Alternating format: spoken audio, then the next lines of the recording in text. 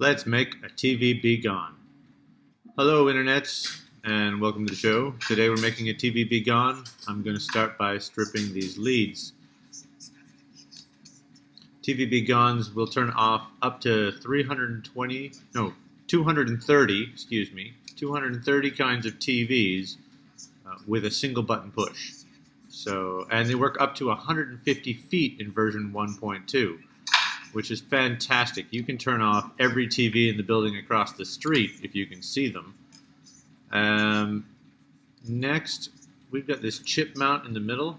I like to put this flat on a table and then solder it in. It's a little bit easier than trying to hold it in a pair of uh, helping hands like I've got here on the in the top right, uh, top left. You'll notice the way I'm, I'm holding the end of the solder with my thumb. It's really easy to twist my left hand and push out with my thumb so I don't have to let go and I can keep getting more solder.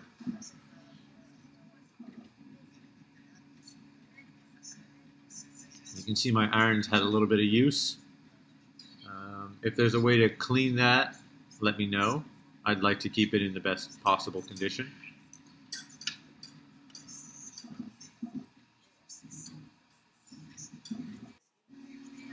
Now we're putting in the ceramic oscillator.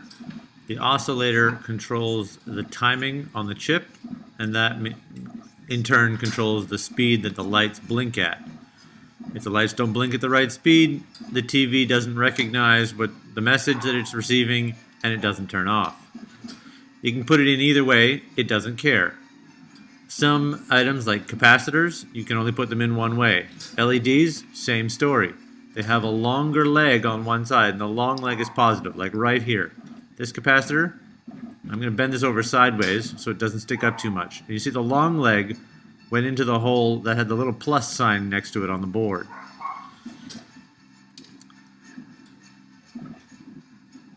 Alright.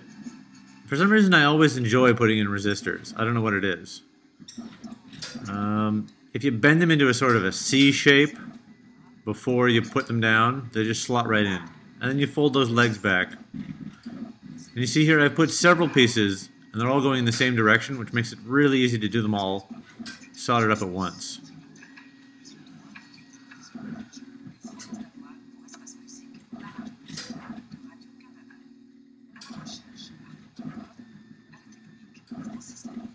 If I was going to do this chip again, I would do all the lowest profile items first. The resistors would all go first, and then whatever was bigger than that. So that would probably be the oscillator, then the transistors, then the um, the mount for the IC.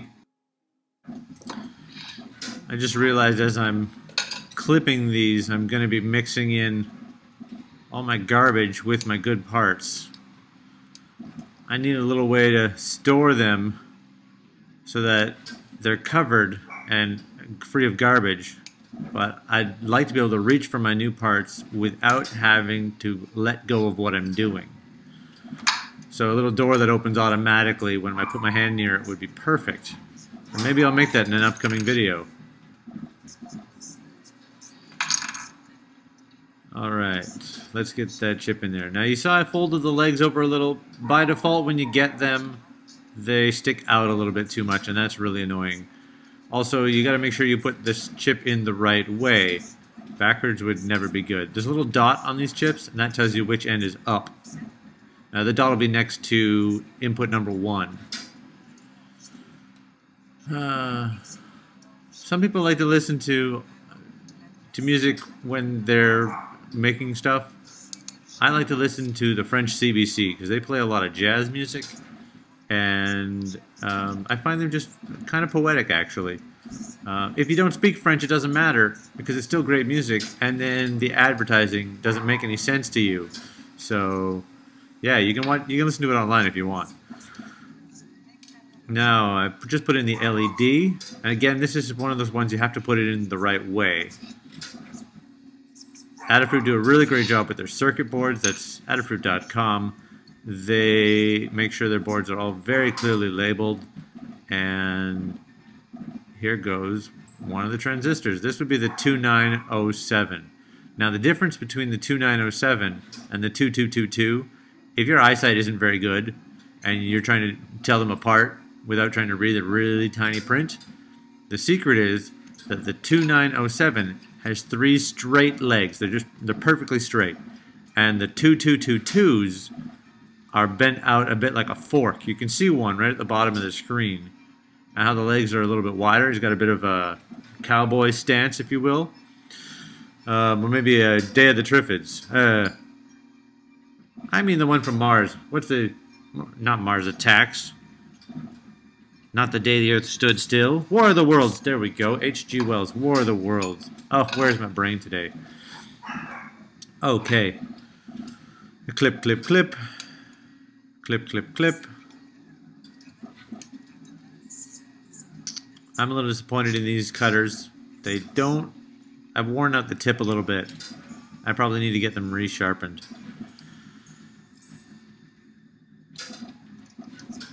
But perfect for cutting these leads off really, really close to the board. Alrighty.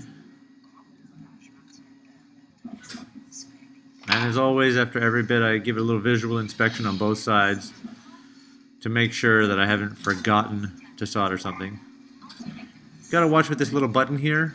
I used to always put my thumb on the far side of the board and just pinch together, and then I'd end up stabbing myself with the legs, which is like a vicious little spider bite. Um, at least that's what always went through my head. And who likes to eat spider bites? Well, if you do, you've, you've found your, your new calling. Uh, for the rest of us, I suggest just keep your thumb out of the way. Now here we go. These are the ones I was talking about, the 2222s. There's four of them. And these these help turn the light on and off. And and actually they also manage the um, the power difference. The amount of power used for to run this circuit uh, is a lot less than than is different from the LEDs. So the transistor um, lets you run both without frying one or the other. And numero quattro. It's much easier to bend the legs in than to bend the legs out when you're trying to get them in holes. So that's why I, I like to bend them out a little bit before I try and stick them in.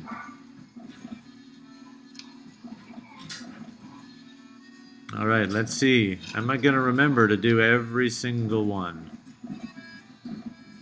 There's something to be said for doing one at a time. I've never been a very patient man. I really haven't learned that lesson.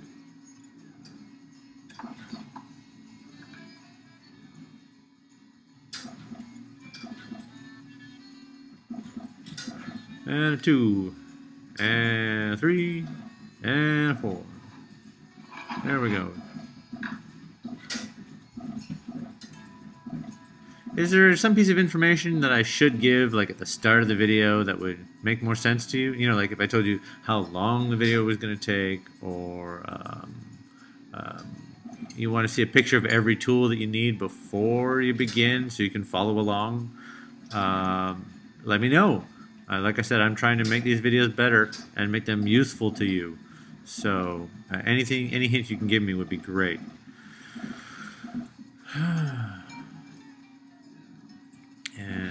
Do, do, do, do, do, do.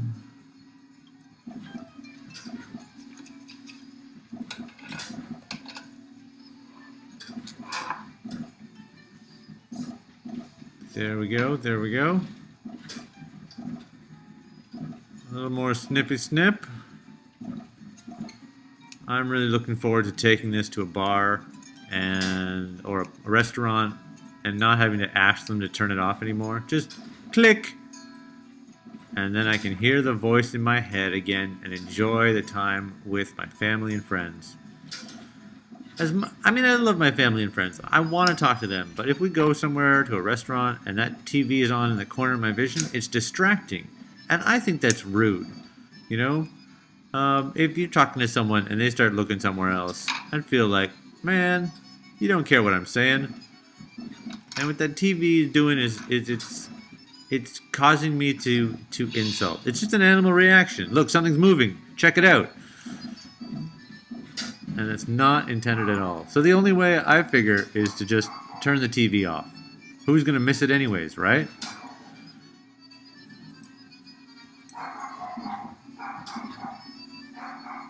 starting to feel the same way about Reddit, and um, in fact, I do feel the same way about Reddit.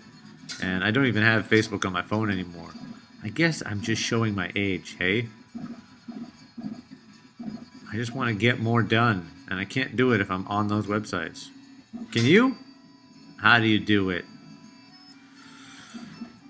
Show me a concrete example. What do you do? What do you make?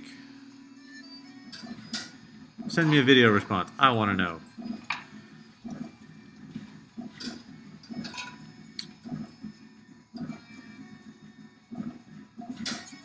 As it happens. Uh, you can, if you're in the States, you can get these from Adafruit and a bunch of other places. If you're in Vancouver, Canada, which is my hometown, you can buy these from me.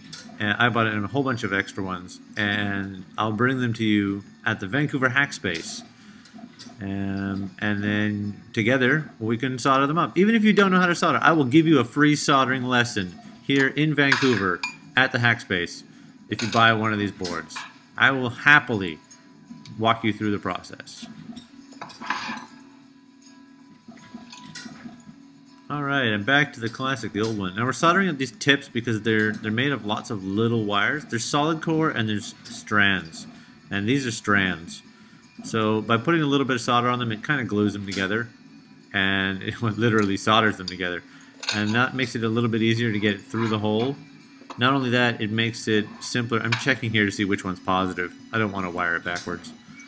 Um, once it's through the hole, the tip can be bent a little bit and it holds in quite a bit better. See, I got a little bit too much solder here. Doesn't want to play ball. I keep an old yogurt container on the end of my desk, and I have just about every tool that I use every single day in that bucket.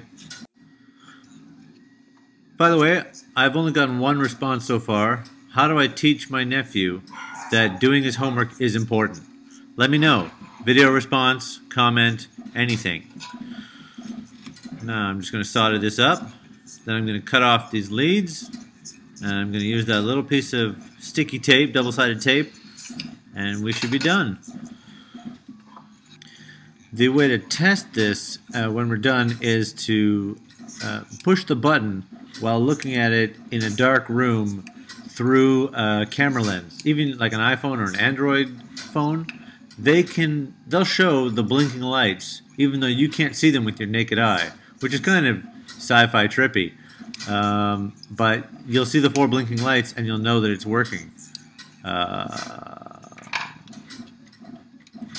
so here we go. See, that folds over like that. Now, I don't know if I'm supposed to let the, the lights stick out past the end of the battery casing, but I prefer to not. I think it's a little bit uh, safer and it makes it easier to put it in a box later. Um, I'm probably going to 3D print some kind of container that'll protect protect the whole device and only show the, the LEDs and the button that I want to push. Um, when that happens, I'll put the, the plan on Thingiverse. Okay. As always, it's Dan, marginallyclever.com and I would uh, I would love to hear from you with your comments and your feedback. Please share with your friends and have a beautiful day.